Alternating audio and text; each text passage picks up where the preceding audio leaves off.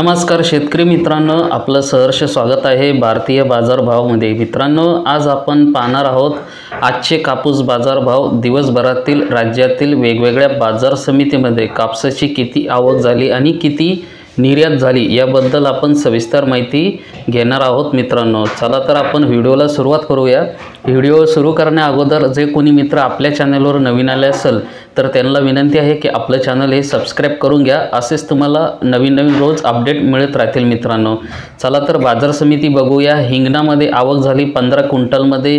किमान दर चालू आहे दहा हजार तीनशे सोळा रुपये आणि कमाल दर चालू आहे दहा हजार तीनशे सोळा रुपये आणि सर्वसाधारण दर चालू आहे दहा हजार तीनशे सोळा रुपये. पुढची बाजार समिती आहे आष्टी वर्धा. आवक आहे साडेपाचशे क्विंटलमध्ये. किमान दर चालू आहे साडे दहा हजार रुपयाचा कमाल दर चालू आहे दहा हजार सातशे रुपयाचा सर्वसाधारण दर चालू आहे दहा हजार सहाशे रुपयाचा.